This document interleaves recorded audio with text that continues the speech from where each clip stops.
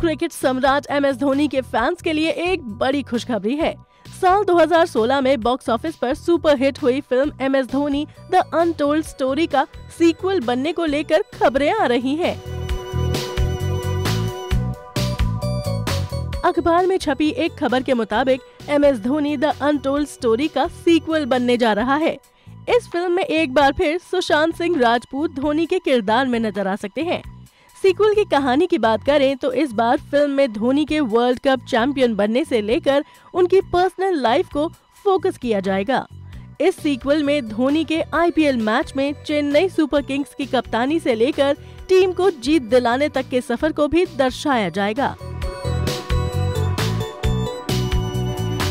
इसके अलावा फ़िल्म के दूसरे भाग में साल 2015 में भारतीय क्रिकेट टीम को वर्ल्ड कप सेमीफाइनल तक ले जाने वाले रोमांच को भी कहानी में शामिल किया जा सकता है।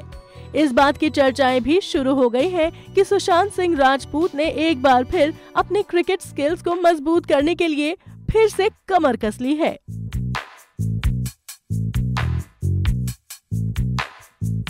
अभी वीडियो को लाइक करें, शेयर करें और अभी चैनल को सब्सक्राइब करें।